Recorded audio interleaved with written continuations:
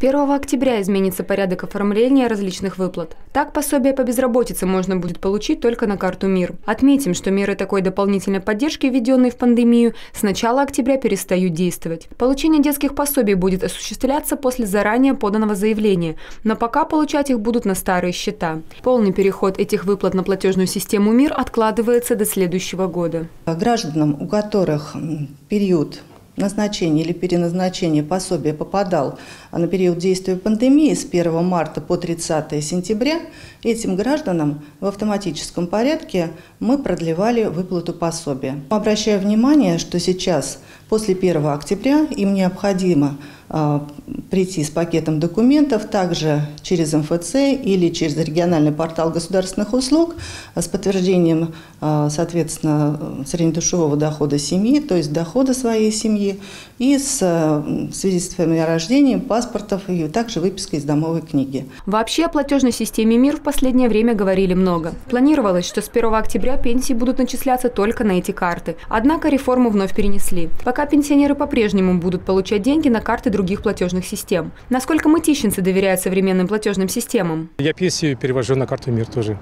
Э, доверяю. И доверяю вполне, да. Я считаю, для меня неудобно. Только наличными. О, сумки. Пришла, рассчиталась и все, и заплатила. А мир, я должна пенсию, ну, увидеть. Сколько у меня там, там еще за жилье доплачивают нам. И все это там расшифровка. А в карте будет одна цифра и все. Какие могут быть вопросы, если работают. Должны были перейти на автономку, а получается, что, наверное, ну, кому не везет, тому не везет. С миром всем везет. Все устраивает, пользуемся давно. И зарплату на него получала, и теперь пенсию военную. Я вообще карточкой не пользуюсь, потому что мне не хватает понятия с этим.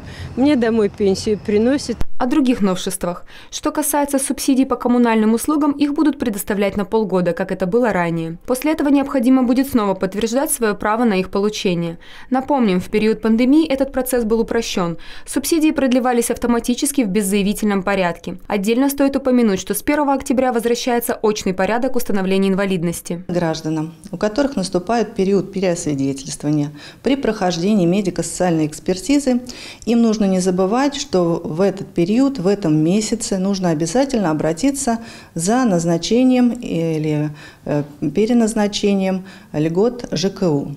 А, поэтому граждане должны обратиться или из дома, через региональный портал государственных услуг а, с последующим подтверждением подлинников документов в МФЦ, или сразу непосредственно в МФЦ, предоставив следующие документы у них, которые есть на руках. С 1 октября в Подмосковье также устанавливаются новые цены на газ. Повышение должно было произойти ранее, но из-за пандемии процесс был отложен до октября. Так, тариф на использование газа для нагрева воды и приготовления пищи составит 6 рублей 76 копеек. Подробно Подробнее ознакомиться с информацией можно на официальном сайте Комитета по ценам и тарифам Московской области. Марьяна Зборовская, Денис Корнев, Андрей Капустин, Первый Мытищинский.